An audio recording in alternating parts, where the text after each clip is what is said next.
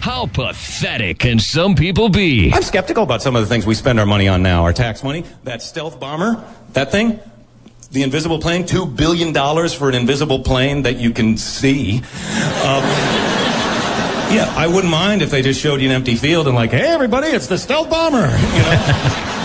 now I'm getting my money's worth. Um, but they don't. They fly it over the Super Bowl. You know, they're like, look, it's the stealth bomber. I'm like, not invisible. Um, you know, turn it on.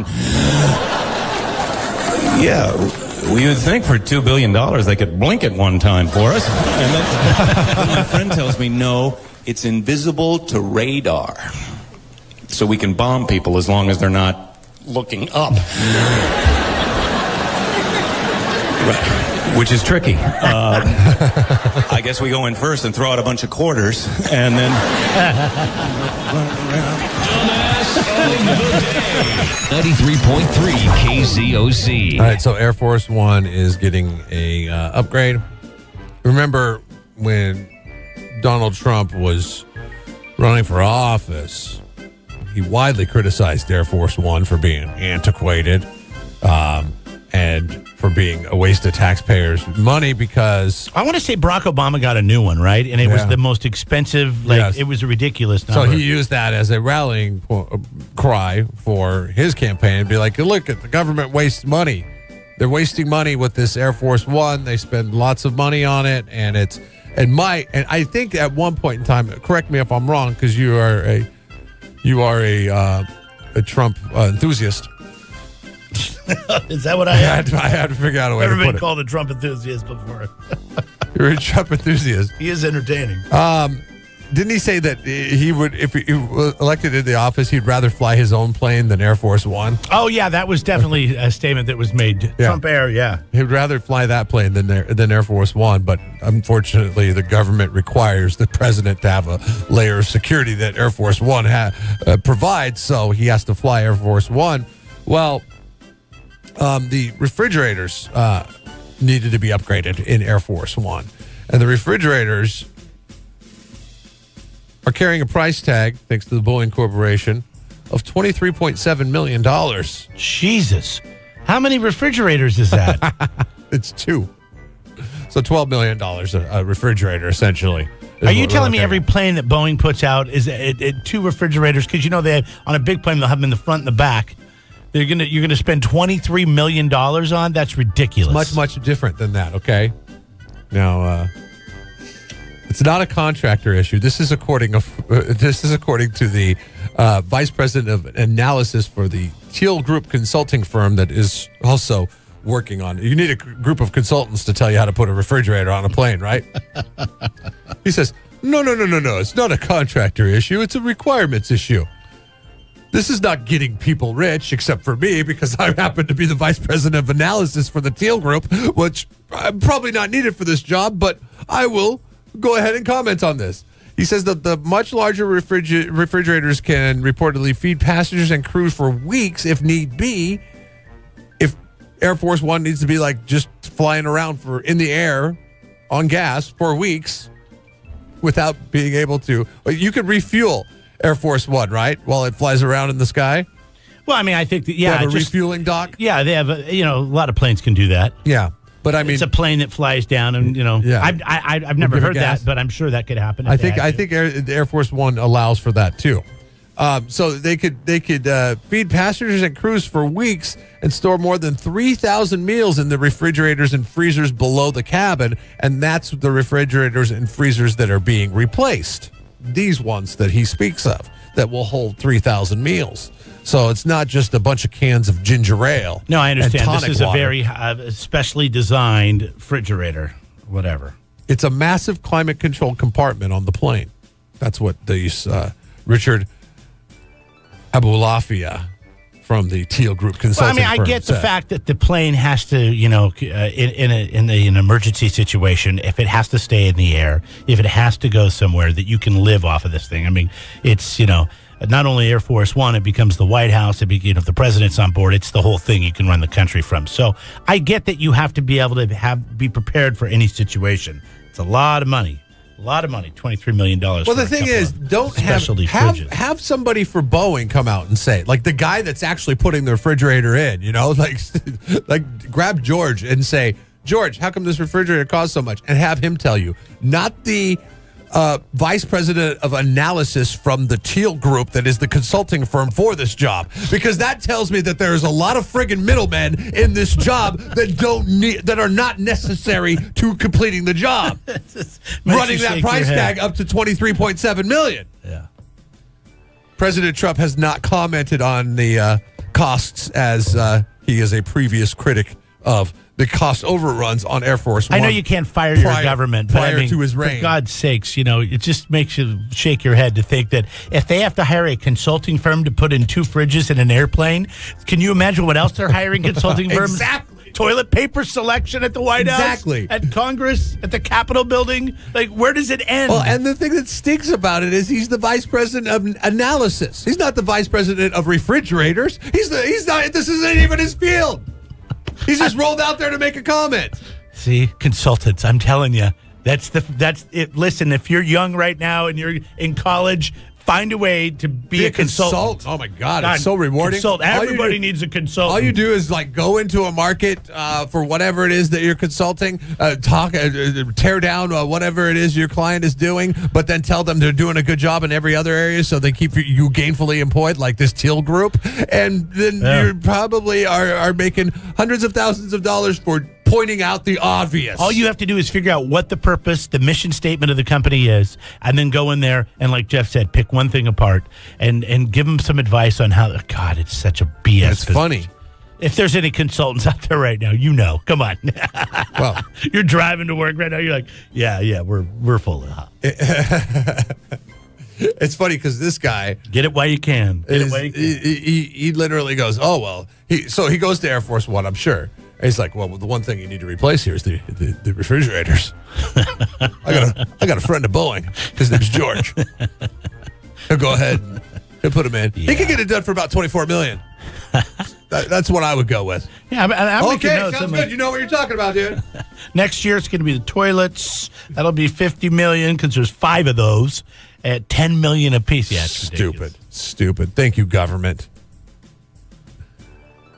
Thanks for re- rewriting that tax code. Billy writes in. He's talking about uh, the uh, airplane that the president flies on. I didn't know this, but according to Billy, um, any plane that the president of the United States steps foot onto um, that he flies in becomes designated Air Force One. You got to be kidding me! You by didn't the, know that. by the government. No, I did not know that. How did you not know why I- that? why would I know that? Why? Dude, turn on Air PBS. Turn on History Channel. I, I actually wrote the guy back, and I'm like, "Aha! You found you saw that episode of History Channel too."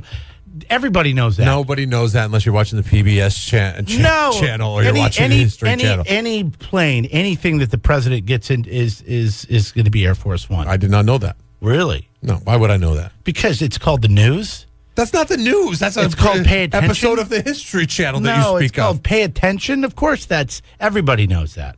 Not everybody knows that. Well, everybody but why, you, Why is the air? Why is the plane? You don't have to get upset that you didn't know something that most people know. Why is the plane that flies the uh, president around that gets the twenty-four million dollar refrigerators? Why is that dubbed Air Force? If that's called Air Force One, Because that is his normal plane. Okay, if that's called Air Force One, then that's Air Force One. If he's stepping on a United flight, I did not know that. Okay, That him- becomes Air Force him One. traveling in first class was was then dubbed Air Force One, which I guess does not happen. The president doesn't have to do that.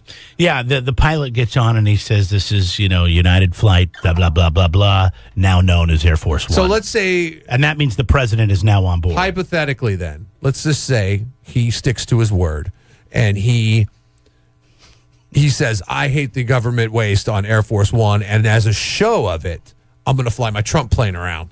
I love the Trump plane. The Trump plane is the biggest, like, flashiest expense that you could ever. What and I it? think it's an Airbus too. It's Is it- not even an Oh, American-made not? airplane. It's not. I, I thought it was like a 737, but no, that's neither here nor there. I don't care what kind of plane you fly, whatever you're comfortable with, go, go for it. but I'm not. I, I don't know. Maybe it is. Uh, but but if he flew the Trump plane around,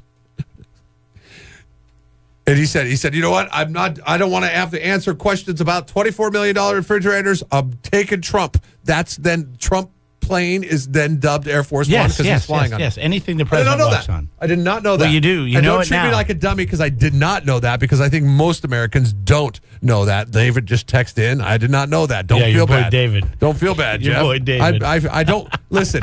There's nothing that this guy is going to say to make me feel bad, David. When he says, "What you didn't see it on PBS or History Channel?" I'm just saying because it's I don't watch knowledge. PBS or I'm- History I'm Channel. saying- you know That's what? not two morons. I'm sure somebody could text in five four three three six nine three and say that Listen, that's common knowledge. If you have about, I would say anywhere between 25 and 30 hours of free time a week on your hands, then you're watching PBS or the History Channel, okay? So if I have that in my budget of free time over the next No. 20 years, No, then I might know that, but I don't foresee it, okay? Andrew says he, he always thought it was common knowledge, but he said, remember, there's two planes, and there is. There's there's one that the uh, vice president flies on, and there's one the president flies on. So I would imagine when he says, you know, if they got to do uh, $24 million in refrigerator Oh, yeah. uh, updates to one, they probably have to do it to the other because. If if one you know has an engine problem, the president's got to get off the ground. He's got to go to the other one. Yeah, and the consultant I'm there, is, I'm sure, is standing there going, after uh, the first one is done, and, and the two refrigerators get put in the in the, in Air Force One one, uh, then uh, when Air, For- Air Force One two is uh, sitting there on the tarmac too, he's like, "Did you guys put the refrigerators in that one too?" uh, no, we didn't. Wait. Even, we didn't even think to do that. So So- that's going to be another twenty four million dollars. Wait, could this twenty four be for four refrigerators, or Yes. did it just say for two? It would the twenty four. It's for two refrigerators. Okay, so one's going in each one, or is No, two? They need I, two I in don't one. know. I don't know if it goes on one Still, plane. it doesn't matter. Two refrigerators is twenty four too million dollars. Is crazy, and that's what we're spending our hard the way earned money the, on. the article was penned, it made it sound as if one plane was getting two refrigerators. You Okay. needed two refrigerators for the one plane because think about it, it's thirty. It's or I'm sorry, it's three thousand meals that you got to have prepared, ready to go. Three thousand. yeah, that's crazy. Uh, Dan wanted to say something about Air Force One. Go ahead, Dan. Hey, so common knowledge. Go to go to the movies, Hollywood. All the movies talk about it when the president changes. Even Independence Day, Hollywood, when that guy goes into the when they go in the jet, they talk about it all the time. Jeff doesn't have time to go to movies. signs. He's got to go buy Yeah. IKEA furniture, put it together, Yep. and then take it apart so he can move, and then put it back together again. He doesn't have time to go to the movies. Like a gypsy. Thank I'm you. Constantly moving. How many gypsies do you know? How many gypsies do you know watch movies? Uh, know it all. Craig wanted to weigh in too. Go ahead, man, about government spending. the the problem with this refrigerator situation, and it's a lot more than a refrigerator situation, is people realize that when they're doing a job for the government, that they can pretty much charge whatever they want. Mm-hmm. And I, They I've do. seen this. I, I no, no, absolutely. I've seen this myself in supplying lumber and different building products for governmental jobs. And as I was doing my job, I treated it like any other job until I was giving a, a PO from another company that had to back out of it, and where my delivery charge to the job site was a mere $150, which is our standard delivery fee for where it was. The PO that was given to me had a thousand dollar delivery charge, and they were much closer than I was. and it's these these little things like this that add up to this. Yeah, absolutely. They're like, oh, this is a government. This is a government job. Well, they got a Okay, budget. Well, let's figure out a way to bleed it as much as we possibly can. What's your delivery charge budget? Oh, you know, about uh, a thousand bucks. Okay, uh, that's about what it is. That's what it'll cost you. Yeah, exactly. And, Strangely and enough, it's that's ours. You know, I, I get the I, I get the reason for the refrigerators. If something happens, if they have to land somewhere other than you know where they can get to supplies, if there's uh, an emergency, yeah, they got to have something to preserve their, their food mm-hmm. so they can eat and work. We get all that. yeah. Yeah, the guy, first guy that says, so okay, just we're doing extending. we're doing away with exorbitant uh, government contracts uh, to uh, contractors. Uh, that's the guy I vote for. Yeah, I mean, uh, it would be nice to trim the fat a little, as they say. That's drain the swamp. Wait a second, that sounds familiar. Let me. Wait, I didn't know you needed a $24 million refrigerator to drain the swamp. Uh, let me back up my comments a little bit here. You want to talk about wasted government money? What about this whole ban on plastic straws? I saw a story that if it goes through and it goes through the way they've written it up, the people could actually not only be, you know, business could be fine, but you could actually spend, spend jail time if you're caught serving plastic straws send- in send me San Luis Obispo. That's insane. That's insane. I, wish I wish somebody that was big, that did a big amount of business downtown, and the one place that comes to mind, and they won't, they would conform because they enjoy the business that they're doing downtown. But I don't know. I think renting their spot is pretty expensive, and that's Habit Burger. Habit Burger, there's consistently, pretty much for the most part, a line all the time. So they're always serving up hamburgers. They're always serving up hamburgers. But then also Habit Burger, I'm sure for all their locations, probably they order straws for all their locations, and you so so when you buy in bulk like that for all your locations, you're talking about all the Santa Barbara locations, all you know, every up and down. Right. I mean, hell, they got them in Stockton. I mean, there's lots of Habit, Habit Burgers. Okay, and the one location needs to have special needs. It costs you money and maybe they relay the cost in the price of their burgers at that location to pay for your special needs straws. But I would like to see a company like Habit put their foot down in this instance and say, eh, you know what, we're not going to operate in San Luis Obispo anymore. Can't deal it. Can't deal with it. You, your ordinances are way too way too lofty. Why couldn't what still operate and just not have any straws? what what happens when you when you run out of uh, uh, pro- uh, paper straws? Are you kidding me? Have you ever gone to a restaurant and ordered a drink and they don't give you a straw? I want a does straw. Your, does your head spin? I when want a that- straw. when that happens? I want a straw. I've tried drinking just off the glass, and no, it just doesn't work. I need a straw. I like the straw. It's nice to have the Uh, straw. yeah, you, you don't want to have to suck through that. I've had a straw hole. my whole life. Now I can't have a straw. No, I'm just saying. But you know, that would be one way that a a restaurant downtown, if they wanted to fight back against this, just don't carry straws until people complain to the point where you you get your straws back. And I understand some of the arguments on it, especially with like those little cocktail stir straws, coffee stir straws, and like all the straws that end up getting you know clogged up. Is that the argument? I, I understand people and where they're coming from on it. I, I treat this like the History Channel's coverage of Air Force One. I really am, am kind of ignorant to the whole issue, and But is that really our number one focus?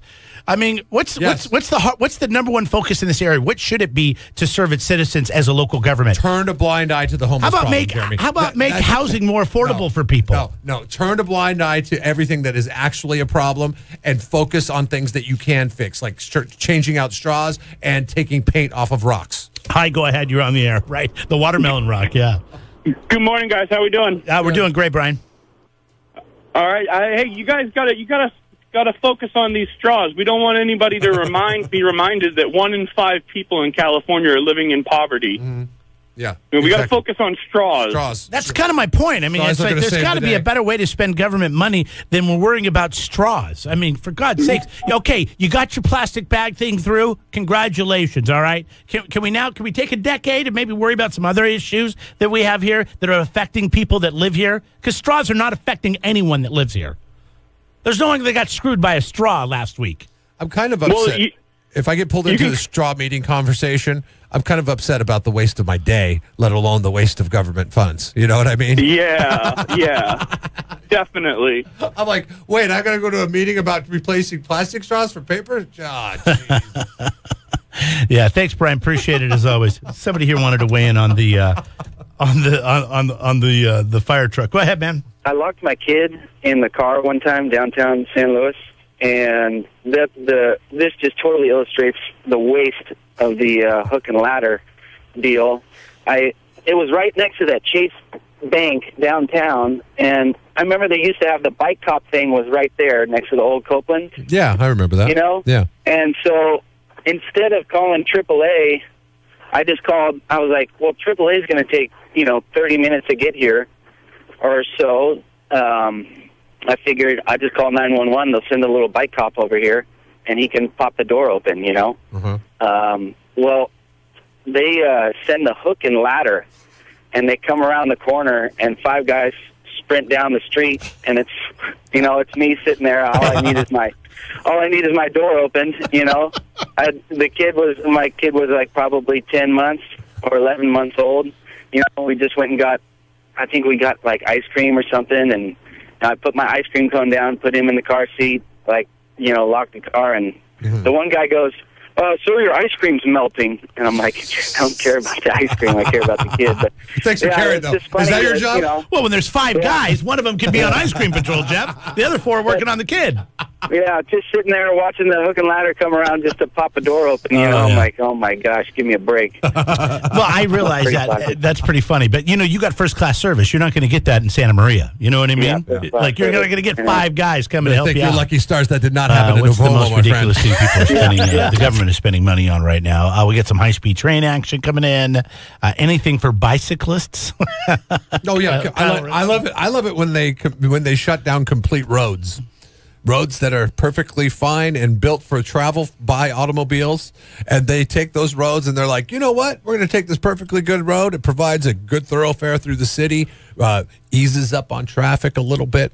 Um, and then what we're going to do is we're going to shut it down and we're going to open it only to bicycles. Uh, you know, they need to design communities now with bicycle like paths. Like, so it's actually illegal for a bicyclist to drive on a to ride their bike on a road that is operated by a motor vehicle. Here's the just problem. like the freeway. You know what I mean? If we saw a bicyclist on the freeway, boom, ticket, no problem. They need to have their own paths, and then they could stay off the Right. roads. And look at all the problems we would solve. Here's the problem. I would rather do that than ban straws. you can't build paths where there are homes. And I don't know if you've ever noticed this, but if you own a home in San Luis, and we, of course we're speaking about you, Sky San- bridges. San- It's- it's all San- sky San- bridges, okay, Jeff. That's Sky fine. bridges. That's fine because because that's the only way you could do it is with sky bridges. And No, that's and- why I said they need to plan communities like m- moving forward. Yes, they really do because actually this community that they built over here.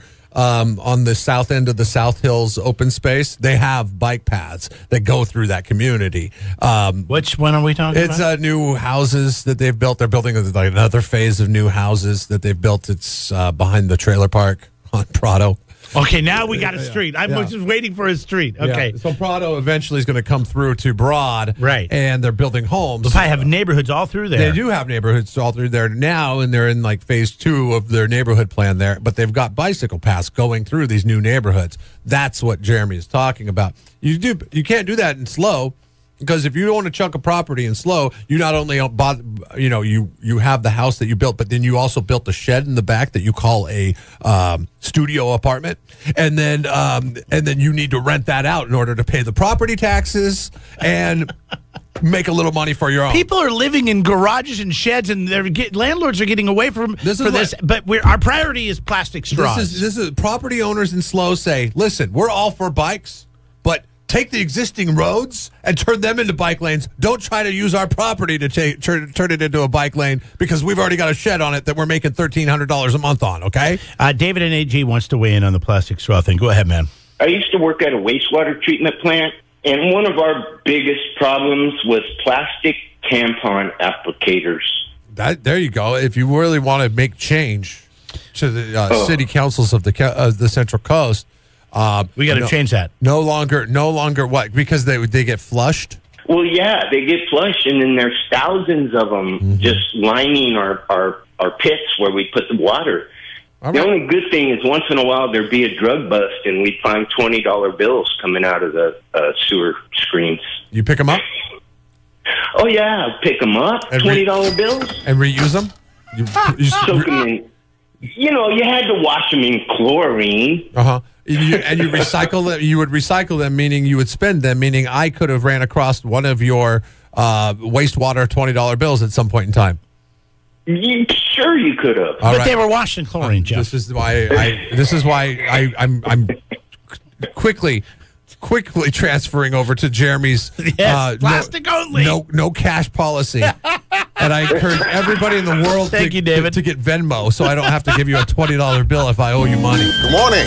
Jeff and Jeremy in the morning on 93.3 KZOZ.